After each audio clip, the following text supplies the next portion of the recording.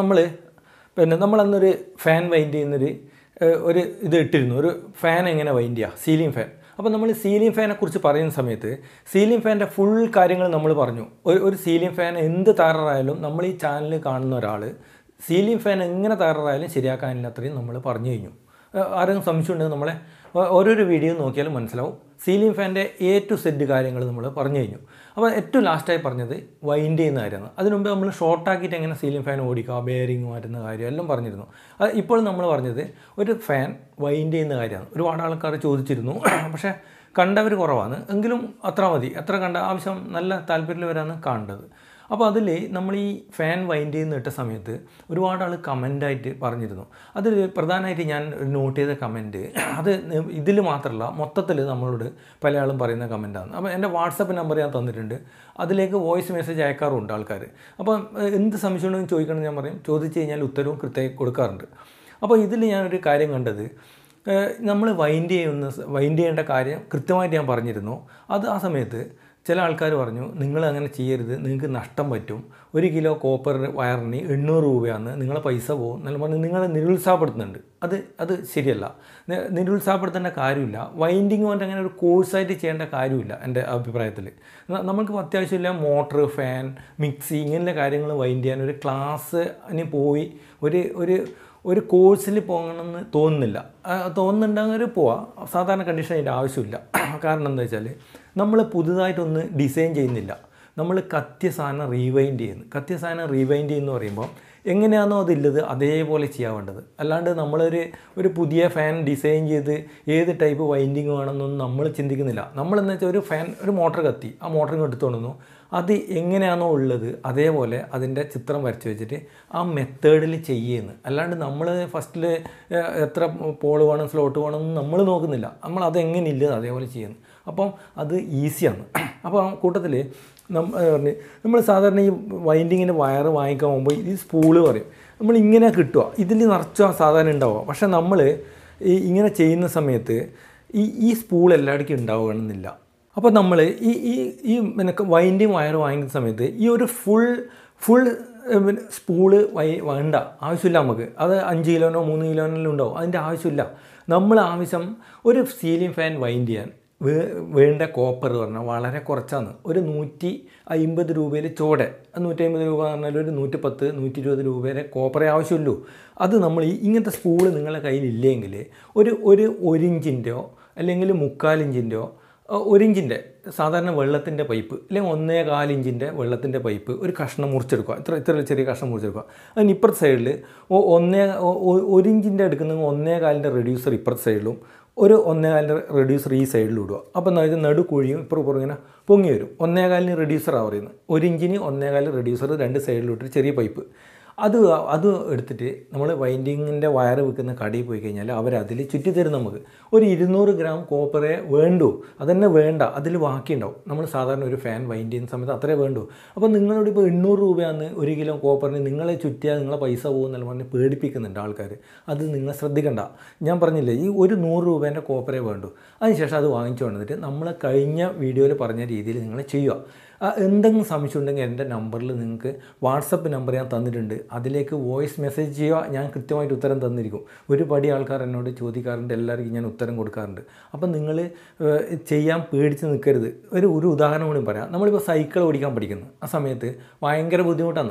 നമ്മൾ സൈക്കിൾ ചവിട്ടണം കൂട്ടത്തിൽ ഹാൻഡിൽ നേരെ നോക്കണം മുമ്പിലോട്ട് നോക്കണം. ഇതൊന്നും ശരിയാവില്ല. നമ്മൾ പല സമയം വീഴും. പല പ്രാവശ്യം അത് അത് ട്രൈ ചെയ്ത് ട്രൈ ചെയ്ത് ട്രൈ ചെയ്ത് നമ്മൾ എക്സ്പേർട്ട് ആയി കഴിഞ്ഞാൽ ഒരാഴ്ച അത് ഓടിച്ചു കഴിഞ്ഞാൽ നമ്മൾ പിന്നെ രണ്ട് കൈ ഇളക്കിയിട്ട് ഓടിക്കാൻ തുടങ്ങും.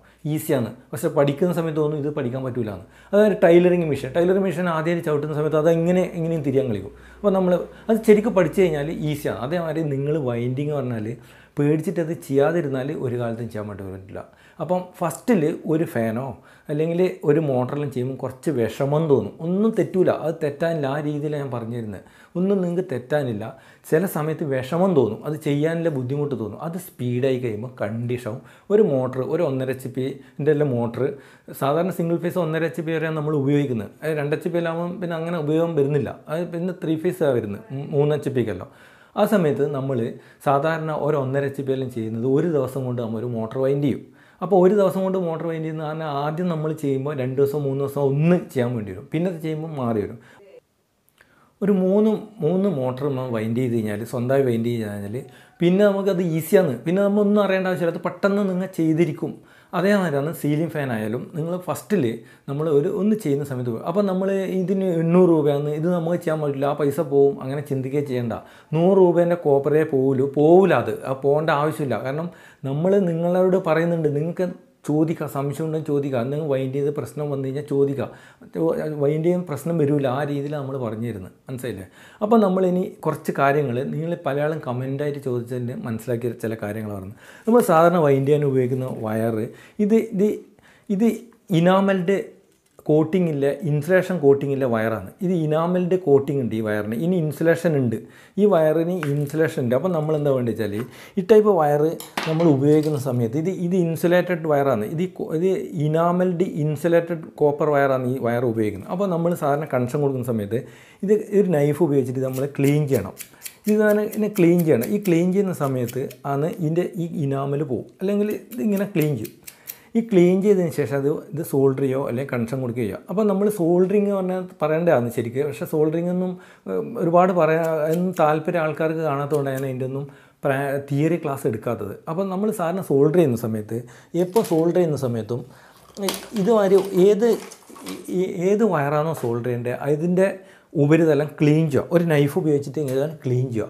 ഏത് വയറാണെന്ന് വെച്ചാൽ അതിന്റെ ഉപരിതലം ഇതുവരെ ക്ലീൻ ചെയ്തിട്ട് ഈ ഇൻസുലേഷൻ കളയുക ഇൻസുലേഷൻ കളഞ്ഞ ഉടനെ തന്നെ നമ്മൾ ഫ്ലക്സ് ഉപയോഗിച്ചിട്ട് അതിനെ ഫ്ലക്സ് ചെയ്യണം. ഇത് ഇത് ഫ്ലക്സാണ് ഇത് സോൾഡറിങ് ഫ്ലക്സാണ് ഈ ഫ്ലക്സ് എടുത്തിട്ട് ഇതുമാതിരി ഇതിലേക്ക് ഇങ്ങനെ ഇങ്ങനെ അപ്ലൈ ചെയ്യണം. അപ്പോൾ എന്ന് വെച്ചാൽ ഇനി ഇനി ഓക്സൈഡ് വരില്ല നമ്മൾ സാധാരണ കണ്ടീഷനിൽ ഒരു മെറ്റലെല്ലാം നമ്മൾ ക്ലീൻ ചെയ്ത് കഴിഞ്ഞാൽ അത് വായുവായിട്ട് സമ്പർക്കമില്ലോണ്ട് അതിന്റെ മേലെ ഓക്സൈഡ് വരും. അങ്ങനെ ഓക്സൈഡ് വരുന്നതുകൊണ്ട് ഇരുമ്പ് തുരുമ്പ് പിടിച്ച് പോകുന്നില്ല. അത് ഇരുമ്പിന്റെ ഓക്സൈഡാണ്.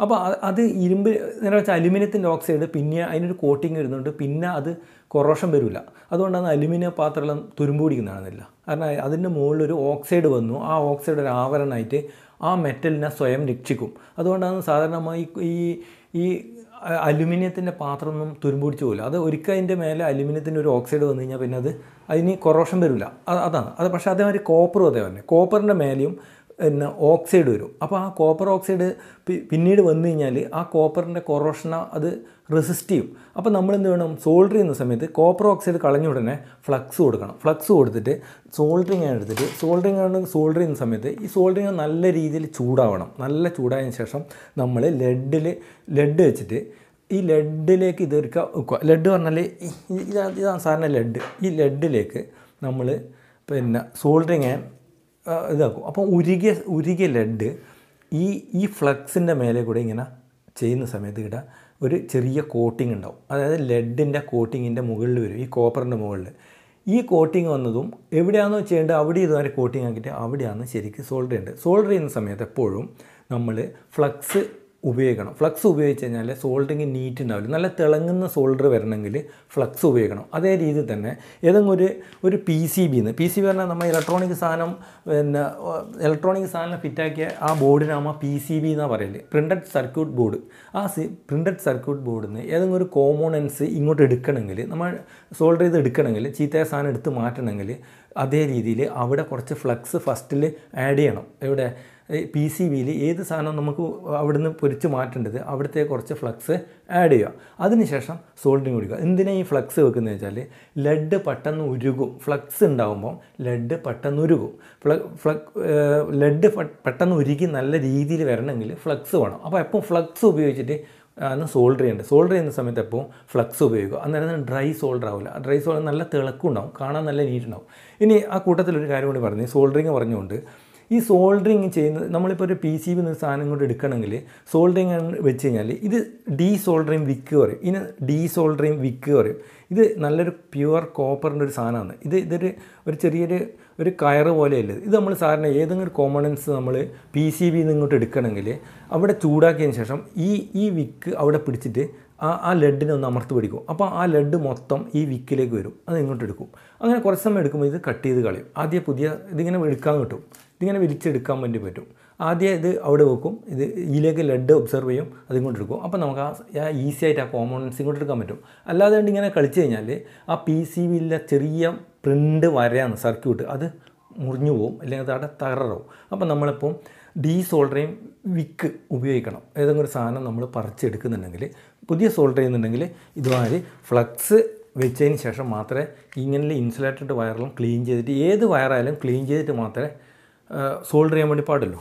അടുത്ത കാര്യം എന്നോട് ഒരുപാട് ആൾക്കാർ ചോദിച്ചിരുന്നു ഫാന്റെ കപ്പാസിറ്റർ അല്ലെങ്കിൽ ഏതൊരു സാധനത്തിന്റെ കപ്പാസിറ്റർ എങ്ങനെ ചെക്ക് ചെയ്യാമെന്ന് സാധാരണ നമ്മൾ കപ്പാസിറ്റർ ചെറിയ ചെറിയ കപ്പാസിറ്റർ എല്ലാം ഇലക്ട്രോണിക്കിന്റെ നമ്മൾ ചെറിയ six volt nine volt twelve volt എല്ലാം കപ്പാസിറ്റർ സാധനം ടെസ്റ്റ് ചെയ്യൽ നമ്മൾ മൾട്ടിമീറ്റർ കണ്ടിന്യൂറ്റിയിൽ വെച്ചിട്ട് അത് അതിന് രണ്ട് കൊടുക്കുന്ന സമയത്ത് നീഡിൽ ഫുൾ ഡിഫ്ലക്റ്റ് ചെയ്യും. അതിനുശേഷം ഡിസ്ചാർജിലാണ് കാര്യം മെല്ലെ മെല്ലെ നീഡിൽ ബാക്കിലോട്ട് വരും. അങ്ങനെയുള്ള കപ്പാസിറ്റർ നല്ല കപ്പാസിറ്ററാണ് പക്ഷേ നമ്മൾ ഇങ്ങനെ ഈ ടു തേർട്ടി വോൾട്ടിലെല്ലാം കൊടുക്കുന്ന വലിയ കപ്പാസിറ്റർ ഇതുമാതിരി ടെസ്റ്റ് ചെയ്താൽ ശരിയാവില്ല. അപ്പോൾ നമ്മൾ എന്താ ചെയ്യുക വെച്ചാൽ ഈ ഇങ്ങനെയുള്ള കപ്പാസിറ്റർ നമ്മൾ ഈ ഇതൊരു കപ്പാസിറ്ററാണ് ഫാന്റെ ഇത് നല്ല കപ്പാസിറ്ററോ നോക്കാൻ നമ്മൾ നമ്മളെ സോക്കറ്റ് അതായത് ലൈനിലെ പ്ലഗ് വരില്ല സോക്കറ്റ് അതിന്റെ സ്വിച്ച് ഓൺ ചെയ്തതിന് ശേഷം സ്വിച്ച് ഓൺ ചെയ്തതിന് ശേഷം ഈ വയർ ഇങ്ങനെ വളരെ ശ്രദ്ധിച്ച് ഈ ഇൻസുലേഷനിൽ ഇങ്ങനെ പിടിച്ചിട്ട് ആ അതിന്റെ ഹോളിലേക്ക് ഒന്ന് ഒന്ന് ഇൻസർട്ട് ചെയ്യുക. ജസ്റ്റ് ഒന്ന് മുട്ടിച്ചിട്ട് ഇങ്ങോട്ട് എടുക്കുക. അതായത് ന്യൂട്രൽ ഫേസും ഇത് മുട്ടിച്ചിട്ട് ഇങ്ങോട്ട് എടുക്കുക. അതിനുശേഷം ഇതിങ്ങനെ ഷോർട്ട് ചെയ്ത് കഴിഞ്ഞാൽ ടപ്പ് എന്നുള്ളൊരു സൗണ്ടോടുകൂടി പൊട്ടുകയാണെങ്കിൽ ഇത് നല്ല കപ്പാസിറ്ററാണ് ഇത് നല്ല കപ്പാസിറ്റർ അല്ലെങ്കിൽ ഇങ്ങനെ ആകുമ്പോൾ ഇതിൽ ഒന്നും ഉണ്ടാവില്ല. സ്പാർക്കോ അല്ലെങ്കിൽ ചെറിയ ചെറിയ സൗണ്ട് ആണെങ്കിൽ ഇത് ചീത്ത കപ്പാസിറ്ററാണ് അപ്പോൾ നമ്മൾ ഏത് കപ്പാസിറ്ററും നമ്മൾ ചെക്ക് ചെയ്യുക ഇതുവരെ. അതായത് പ്ലഗിലേക്ക് ഇൻസേർട്ട് ചെയ്യും. ഇങ്ങനെ ജസ്റ്റ് ഒന്ന് മുട്ടിച്ചോക്കും ഒരിക്കലും ഇത് കൈകൊണ്ട് കൊണ്ടാൻ പാടില്ല. ഇതിൽ ചാർജ് സ്റ്റോർ ചെയ്യും. അപ്പോൾ അത് നമുക്ക് ഷോക്ക് അടിക്കാൻ സാധ്യത അതുകൊണ്ട് അപ്പോൾ നമ്മൾ ജസ്റ്റ് ഒരു ഒരു ഒരു സോക്കറ്റിൽ ഇങ്ങനെ ഇൻസേർട്ട് ചെയ്ത് ഇങ്ങനെ എടുത്തിട്ട് ഓൺ ചെയ്തിട്ട് ന്യൂട്രൽ ഫേസും ഇത് ജസ്റ്റ് മുട്ടിക്കും. ടപ്ന്ന് പൊട്ടുകയാണെങ്കിൽ ഇത് നല്ല കപ്പാസിറ്ററാണ് അപ്പം ഒരുപാട് ആൾ ചോദിച്ചു എങ്ങനെ കപ്പാസിറ്റർ ടെസ്റ്റ് ചെയ്യാം അപ്പോൾ അതുപോയി. ഇനി ഇനി നമ്മൾ പറയാൻ വേണ്ടി പോകുന്നത് നമ്മൾ വൈൻഡ് ചെയ്ത് കഴിഞ്ഞാൽ നമ്മൾ വാർണിഷ് ഇതാണ് നമ്മൾ വൈൻഡ് ചെയ്തിട്ട് അതിന് ഉപയോഗിക്കുന്ന വാർണിഷ് നമ്മൾ ഫസ്റ്റിൽ വൈൻഡ് ചെയ്യുന്നവർ എല്ലാം ചെയ്തതിന് ശേഷം വാർണിഷ് അടിക്കരുത്. ഒന്ന് ടെസ്റ്റ് ചെയ്യുക. വാർണിഷ് ഇല്ലാതെ ഒന്ന് ടെസ്റ്റ് ചെയ്യുക. വളരെ നല്ല കയറൊക്കെ കെട്ടി നല്ല വൃത്തിയാക്കിയിട്ട് ഒന്ന് ടെസ്റ്റ് ചെയ്യുക. ഫസ്റ്റ് ചെയ്യുന്നവർ എല്ലാം വർക്കിംഗ് ഓക്കെ ആണെങ്കിൽ ഈ വാർണിഷ് എടുത്തിട്ട് അതിലേക്ക് അപ്ലൈ ചെയ്യാറുണ്ട് വാർണിഷ് കൊടുത്തു കഴിഞ്ഞാൽ പിന്നെ അത് നല്ല തടിപ്പിൽ അത് സ്ലിപ്പ് അതിൽ നിന്ന് വിട്ടു പോകാതെ നല്ല നീറ്റായിട്ട് നിൽക്കും അതിന് നമ്മൾ വാർണിഷ് അടിക്കുന്നത്. അപ്പോൾ ഇത് വൈൻഡിങ് വാർണിഷാണ് ഓക്കെ ഇനി പറയാൻ വേണ്ടി പോകുന്നത് അപ്പോൾ വൈൻഡ് ചെയ്യുന്ന സമയത്ത് ഉപയോഗിക്കുന്ന ചില സാധനം ഇത് ഇത് കോട്ടൺ ടാപ്പ് പറയും. ഈ ഈ നമ്മൾ മോട്ടോർ അങ്ങനെയുള്ള സാധനം വൈൻഡ് ചെയ്യുന്ന സമയത്ത് വയറിനെ ഒതുക്കി കെട്ടാൻ ഉപയോഗിക്കുന്ന സാധനം ഇതാണ് കോട്ടൺ ടാപ്പാണ് ഈ ഇതിന് നമ്മൾ കോട്ടൺ ടാപ്പ് പറയും. ഇതിങ്ങനെ റോൾ റോളായിട്ടാണ് നമ്മൾ വാങ്ങിക്കുക. അടുത്തത് ഈ ഇൻസുലേറ്റഡിനായിട്ട് ഉപയോഗിക്കുന്നത് ഇത് ഗ്ലാസ് പേപ്പറാണ് ഇൻസുലേറ്റഡ് ഗ്ലാസ് പേപ്പറാണ് ഇതും അതെ. ഈ ലെതറോയിഡ് പേപ്പർ അങ്ങനെയുള്ള പല പല കാര്യങ്ങളും ഇൻസുലേറ്ററായിട്ട് ഉപയോഗിക്കാറുണ്ട്. ഇത്രയും കാര്യങ്ങളാണ് വൈൻഡിങ്ങിൽ പറയാനില്ല ഈ വൈൻഡിങ്ങിൽ ചെയ്യുന്ന സമയത്ത് ഒരിക്കലും പേടിച്ചിട്ട് ചെയ്യാതിരിക്കരുത്. നമ്മൾ ധൈര്യത്തിൽ ചെയ്യാറുണ്ട് ഇത് ഇതും ഒരു വൈൻഡിങ് വയറാണ് ഇത് ഇതും ഇൻസുലേറ്റഡ് കോപ്പർ വയറാണ് ഇത് ഇതുണ്ട്. ഇവിടെ കോപ്പർ കാണുന്നുണ്ട്. ഇവിടെ ഇൻസുലേഷനാണ് ഇത് തടിച്ച വയറാണ് ഇത് കോപ്പറാണ് ഇവിടെ ഇൻസുലേഷൻ ഉണ്ട്. ഇതാണ് ഇൻസുലേഷൻ ഇത് ഇനാമൽഡ് ഇൻസുലേഷനാണ് അപ്പം അത് ഇനി നമ്മളിപ്പം പിന്നെ വൈൻഡ് ചെയ്യുന്ന ഒരു കാര്യം പറയേണ്ടത്. നമ്മൾ അന്നൊരു സീലിംഗ് ഫാൻ വൈൻഡ് ചെയ്യുന്ന സമയത്ത് പല ആളും സംശയം ഉണ്ടെങ്കിൽ ഈ നമ്മൾ വൈൻഡ് ചെയ്യുന്ന സമയത്ത് ഇത് ഇന്നർ കണക്ഷൻ ഇത് ഔട്ടർ ഇത് ഇന്നർ കോയിൽ ഇത് ഇന്നർ കോയിൽ ഇത് ഔട്ടർ കോയിലാണ് എന്ന് വിചാരിച്ചോ. അപ്പോൾ നമ്മൾ ഇവിടുന്ന് ഇങ്ങനെ തുടങ്ങി. ഇതിങ്ങനെ തുടങ്ങി. ഇതൊരു കോയിലാണ് അടുത്തയിലേക്ക് അടിവശത്തൂടെയാണ് പോകുന്നത് പറഞ്ഞാൽ ഇതിങ്ങനെയാണ് പിന്നെ ആദ്യം മുകൾ വശത്തെ അടിവശത്തെ മുകൾ വശത്തെ ഇങ്ങനെ ഇവിടെ എത്തിയ എന്റെ ഇവിടെ ഇനി ഇവിടുന്ന് ഒരു ഔട്ടർ കോയിൽ പുറത്തത്തെ കോയിൽ അല്ല ഇത് ഇന്നറല്ല ഇത് ഔട്ടർ ഔട്ടറും അതേ രീതിയിൽ ഇങ്ങനെ ചുറ്റി ഇതൊരു കോയിലാണ്. ഇതിലാണ് നമ്മൾ മുന്നൂറ് മുന്നൂറ്റി അമ്പത് ടേൺസ് ഇങ്ങനെ ചുറ്റിക്കൊണ്ടിരിക്കുന്നത്. അതിനുശേഷം അതിന്റെ ഔട്ട് ഇങ്ങനെ വന്ന് ഇതിലേക്ക് കൂടി ഇങ്ങോട്ട് ആദ്യം ഇവിടെ മുന്നൂറ്റി അമ്പതോ അത്രയാണ് ഞാനന്ന് പറഞ്ഞിരുന്നു. അത് ഇവിടെ ചുറ്റുക. ഇത് ആദ്യം ഇങ്ങോട്ട് വന്ന് ഇങ്ങനെ ചുറ്റുക. അപ്പോൾ ഇതിങ്ങനെ വന്നു കഴിഞ്ഞാൽ ഈ തുടങ്ങിയതും ഈ തുടങ്ങിയതും നമ്മുടെ ഷോർട്ടാക്കിയിട്ട് സപ്ലൈ കൊടുക്കാൻ എടുത്തു. ഇവിടെ ഇട എടുത്തു. ഇനി ഇവിടുന്ന് വരുന്ന ഔട്ട് ഒരു ലൈൻ ഇതാ. ഇത് ഇത് നേരെ ഇങ്ങോട്ട് വന്നു. അതിന് ഒരു കപ്പാസിറ്റർ കൊടുത്തു. ഇത് കപ്പാസിറ്ററാണ് ഇതിന്റെ ഒരു എൻഡിന് ഒരു കപ്പാസിറ്ററും കൊടുത്തു.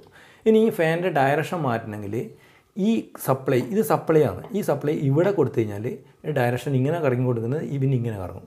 അപ്പോൾ ഇവിടെയോ ഇവിടെയോ ഒന്ന് നോക്കേണ്ടത് ഡയറക്ഷൻ മാറ്റാൻ വേണ്ടിയിട്ട് ഈ കണക്ഷൻ എന്നിട്ട് ഇവിടെ കൊടുക്കുക അല്ലെങ്കിൽ ഇവിടെ കൊടുക്കുക. ബാക്കിയെല്ലാം ഇതേപോലെ. ഇതാണ് ഒരു വൈൻഡി സീലിംഗ് ഫാൻ വൈൻഡിങ്ങിന്റെ കാര്യം. ഈ വൈൻഡ് ചെയ്യാൻ വേണ്ടി യാതൊരു ബുദ്ധിമുട്ടോ ഒന്നുമില്ല. നിങ്ങൾ ചെയ്യുന്ന വേണം. അല്ലാണ്ട് സംശയം കൊണ്ടോ മറ്റുള്ളവർ പറയുന്നതുകൊണ്ടോ ചെയ്യാതിരിക്കരുത്.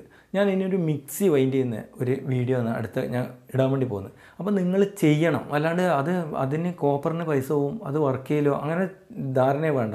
നമ്മൾ പറഞ്ഞ രീതിയിൽ നിങ്ങൾ ചെയ്ത് കഴിഞ്ഞാൽ അത് വർക്ക് ചെയ്യും. അത് ഉറപ്പാണ്. അപ്പം നിങ്ങൾ പിന്നെ നൂറ് രൂപ പോവും അല്ലെങ്കിൽ അതിന് അത്ര പൈസ ഉണ്ട് ചെയ്യരുത് പറഞ്ഞിട്ട് പല ആളും പറഞ്ഞ് നിരുത്സാഹപ്പെടുത്തുന്നുണ്ട്. അത് ചെയ്യരുത്.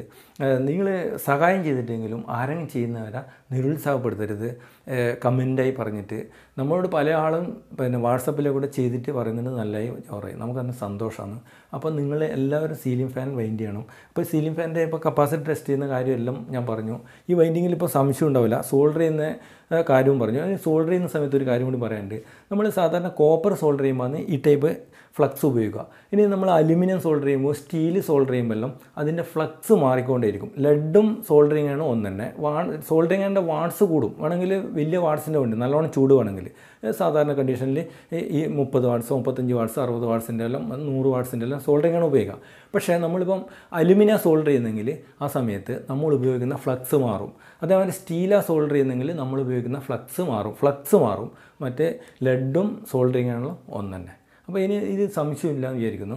അടുത്ത നമ്മളൊരു വേറൊരു ക്ലാസ് വരെ കാണാം. ഈ ഈ ഒരു കാര്യം നിങ്ങൾക്ക് ഉപകാരപ്പെടുമെന്ന് വിശ്വസിക്കുന്നു. താങ്ക്